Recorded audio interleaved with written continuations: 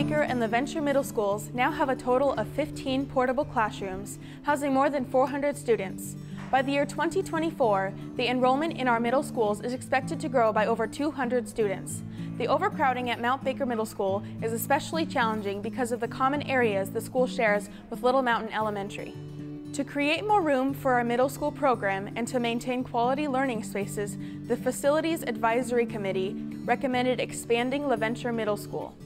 The proposed project would add eight permanent classrooms, ease lunchroom overcrowding, and expand the library to provide additional learning spaces.